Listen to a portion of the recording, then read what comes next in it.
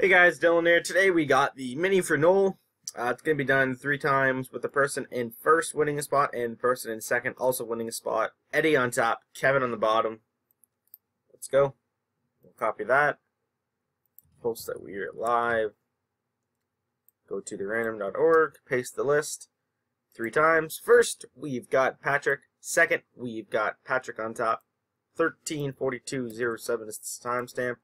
Copy that, paste it, verify the time of the second comment. It is 9:42. We've got 9:42, and the winners are Ryan and Patrick. So Ryan, you pick first, and then Patrick, you pick after. 13:42:21 is the timestamp. Copy that, bring it back to JPM's.